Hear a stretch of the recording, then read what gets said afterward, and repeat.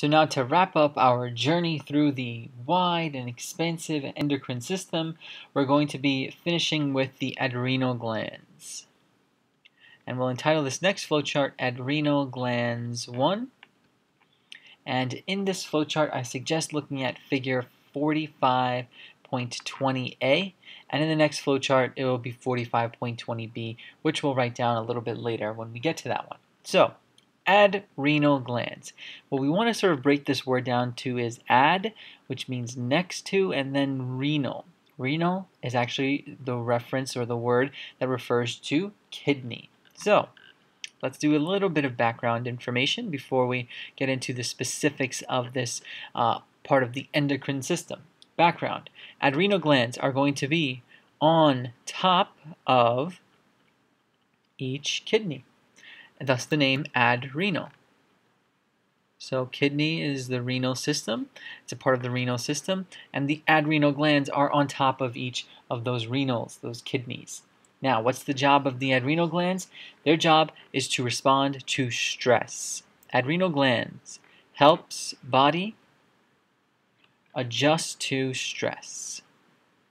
And this is something that we experience almost every single day. And certain levels of stress are good, but too much are bad, and there has to be some sort of balance. The adrenal glands are great at maintaining a normal balance of stress, uh, of stress that's being combated and stress that's being uh, sort of dealt with in the correct and possible form. So, the adrenal gland is also split into two parts. Uh, one part we'll do in this video, and then the other part we'll do in the final conclusion to endocrine system 2 and that will be, these two parts are the adrenal medulla, which we'll do in this video, so that's called the adrenal medulla, and also there's going to be the adrenal cortex. So what is, which are these? What are they? The medulla of the adrenal glands is the uh, central part of the adrenal glands. Central. It's on the inside actually, so it's the middle medulla for that reason. And the cortex, whenever you see cortex in any sort of anatomical feature, it always means the outside. It's This is the outer part of the adrenal glands. What you want to remember about the adrenal glands, therefore, is that this is actually a difference between the, this is actually a division, let's say, of resources because the adrenal medulla and the adrenal cortex are both two distinct glands that are found within the larger gland that is the adrenal gland. Okay, so they are two distinct glands that have their two distinct functions, and that's why we're going to separate them when we talk about them in the next two videos. So, first and foremost, let's look at the adrenal medulla. What does it do? What's its job? Why is it important? Adrenal medulla.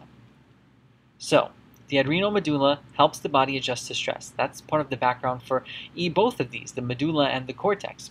So, what I want you to understand about the adrenal medulla, first of all, as a side note, write down that it's a neuroendocrine uh, sort of cell. It's a neuroendocrine tissue, better term, meaning that it's going to be involved in some sort of neuroendocrine pathway that releases neurohormones. Okay, so let's look at this.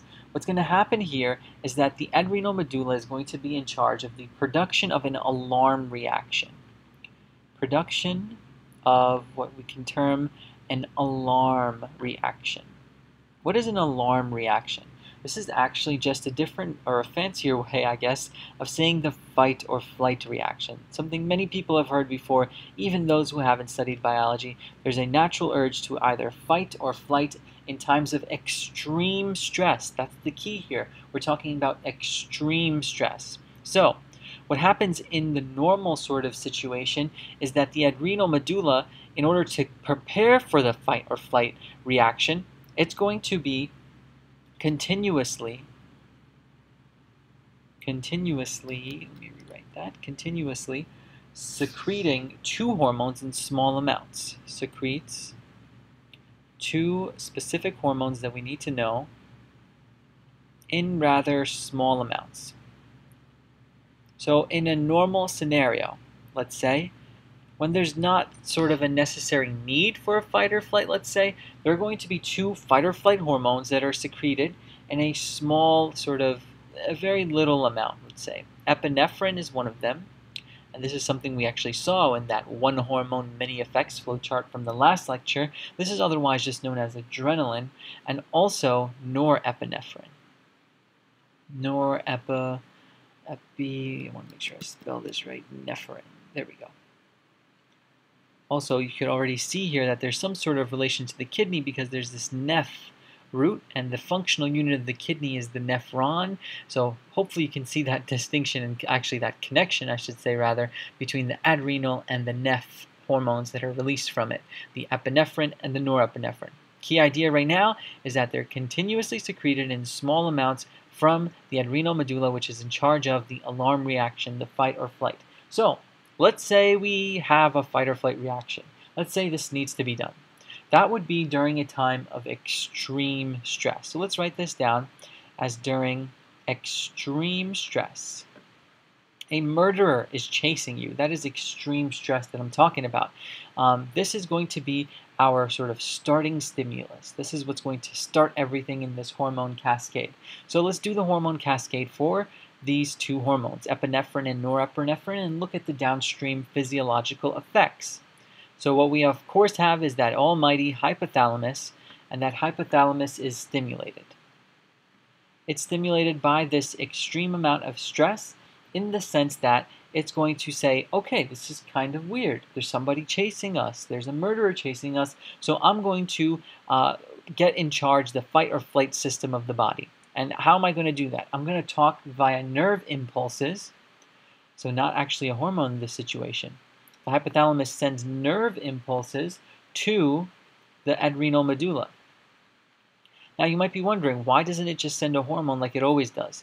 Nerve impulses are actually so much faster than a hormone. A hormone has to travel to the blood and hopefully reach the right cell and then get into the cell, connect with the receptor, etc. Nerve impulses are split second messages that are sent quickly, directly to where it needs to be sent to. Look where we're sending this message to. A murderer is chasing us. We need the fight or flight reaction fast. We cannot wait for a hormone to be either lipid soluble or water soluble and go through the blood and get to this region. We have to do this fast. So there's going to be a nerve impulse that quickly sends a message to the adrenal medulla to say, hey, murderer chasing us. What are we going to do now? Adrenal medulla says, I got this. And it gets activated. What does this activation cause? The adrenal medulla, upon activation, will then immediately cause this release of lots of lots, lots, lots, lots, lots, not small. Now it's a change. Look at the change that we have here.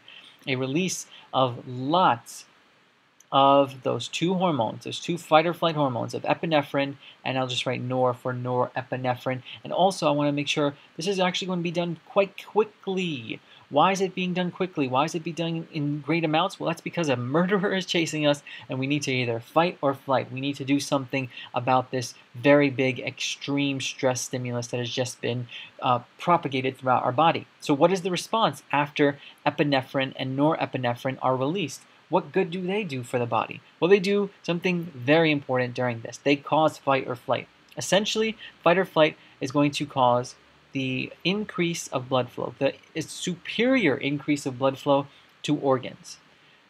Whenever you increase blood flow to organs, you are doing something good because what you're doing is you're allowing your brain, a structure that needs a lot of blood, you're allowing your muscles, another structure that needs a lot of blood, and allowing your heart, another structure that needs a lot of blood to function successfully and efficiently and fast and quickly and make the decisions and make the movements and continue to pump blood throughout the whole body as fast as possible because you need to either run or fight or you need to do something about this murder. And thus, this increase of blood flow to these critical organs is going to allow that. In addition, because there's more blood flow, this actually causes a direct increase in your reaction time. So a lot of the times people say that when there's this adrenaline rush through them, let's say during a sports moment, okay, during some sort of sports uh, some some sort of sporting event where they have this feeling of an adrenaline rush, they perform so much better than when they perform in practice. Why is that? It's because you're on the big stage. The big stage gives you so much of this good stress, let's say, in this situation, not a murderer. That stress is going to cause these nerve impulses to activate the epinephrine and norepinephrine, norepinephrine to rush through your body, adrenaline rush, right? And that's going to increase your reaction time and increase your ability to do well on that specific field or on that specific court, whatever it may be. That's why a lot of athletes say, I love that adrenaline rush that this sport gives me. And that's what happens here. In addition, what you're also going to be doing, or let's say not doing, would be a less blood flow to things that are not important right now. If a murderer is chasing you, or if you're trying to hit the game-winning shot, there's going to be less blood flow to the digestive system and also to the reproductive system. Because right now you're not thinking about digesting your meal, and you're sure not thinking about making a baby. So reproduction and digestion is going to be sort of put to the side. So that's our increased blood flow. Why does that happen? Because epinephrine and norepinephrine are causing it to happen. In addition, epinephrine and norepinephrine, this is all useless actually, unless the other part of epinephrine and norepinephrine also works. Their other function would be to break down stored glycogen, which is a stored form of glucose, into, of course, the usable form of glucose. Break down glycogen to glucose.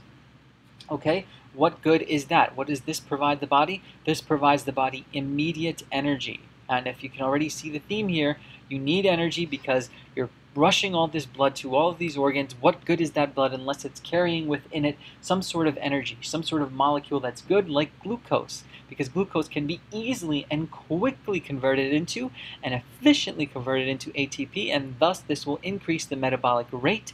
Thus, when you have the increase in metabolic rate, you will have an increase in overall O2 delivery throughout the body.